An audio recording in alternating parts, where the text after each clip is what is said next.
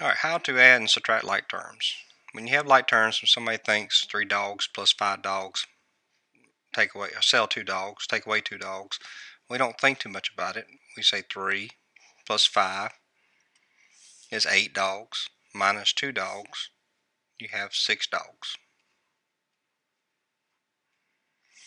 Well, what if I use variables and I said 3d plus 5d minus 2d? There's not any difference. We just use the coefficients. 3 plus 5 is 8 minus 2 is 6d.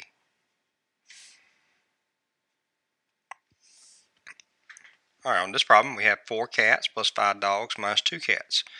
Well here we're going to keep the cats and dogs separate. So we have 4 cats. You get rid of 2 cats. You're left with 2 cats. 4 minus 2 but the dogs does not have another like term, so we just say plus 5 dogs.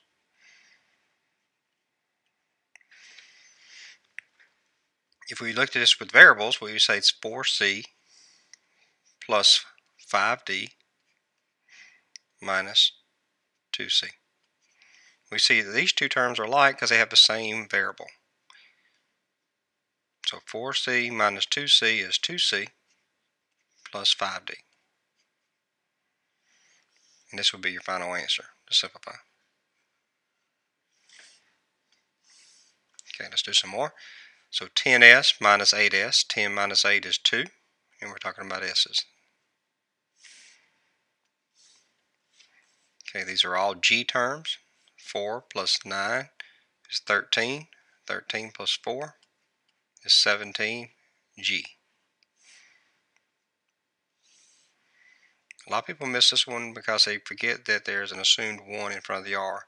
But just like you say, give me a dollar, you don't say give me a $1.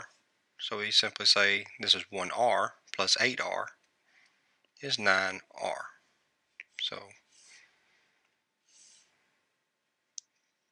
10V plus 5V is 15V plus a negative 3V is 12V.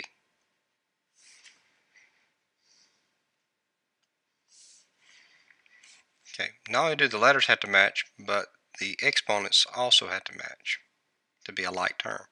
So 7j squared minus 3j squared is 4j squared. The 4 doesn't have a term like it, so we just simply bring it down.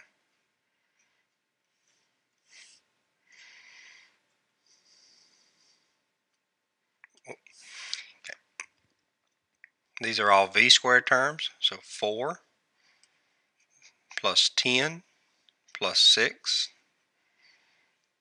is 20 minus 10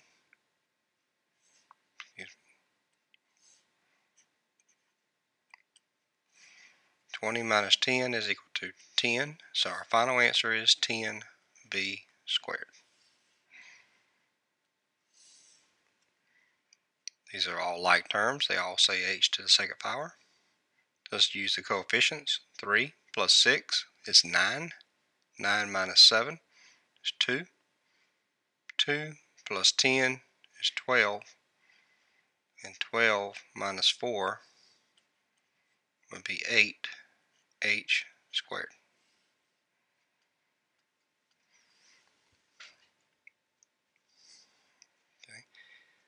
Let's this is a 1. 1 take away 9. Some people like to do a switch switch. That's fine.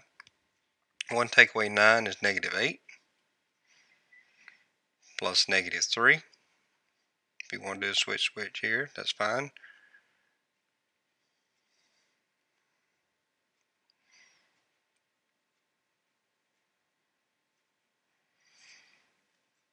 Now we see they're all negative numbers, so we can add it for one of them. So 8 plus 3 is 11. 11 plus 3 is 14. And 14 plus 8 is 22. Remember it's negative and it follows up with the x. Okay, not all these terms are like. We have some f terms here. Let's do those first. So 7 plus negative 10 is negative 3. Negative 3 plus negative 4 is negative 7f. If you want to, mark them out, say you're done with them. Negative 10 plus negative 5 is negative 15. So we can put plus negative 15. But I think it looks better if you say negative 7f plus a negative, same thing as minus 15.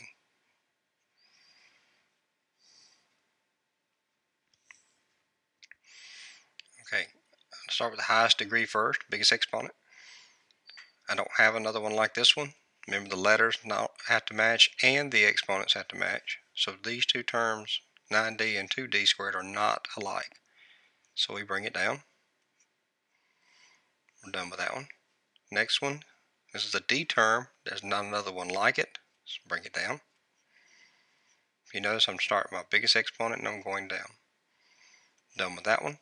Well, the rest of them are constants. Constants don't have variables. 8 plus 3 is 11 minus 2 is a positive 9, so we put down plus 9. Okay, one more. We're going to combine the like terms. We see we have f and g's. These two terms are alike because they both have a g, and that's the only two we can combine. 4g minus 3g is 1g, or we can simply put Thank you.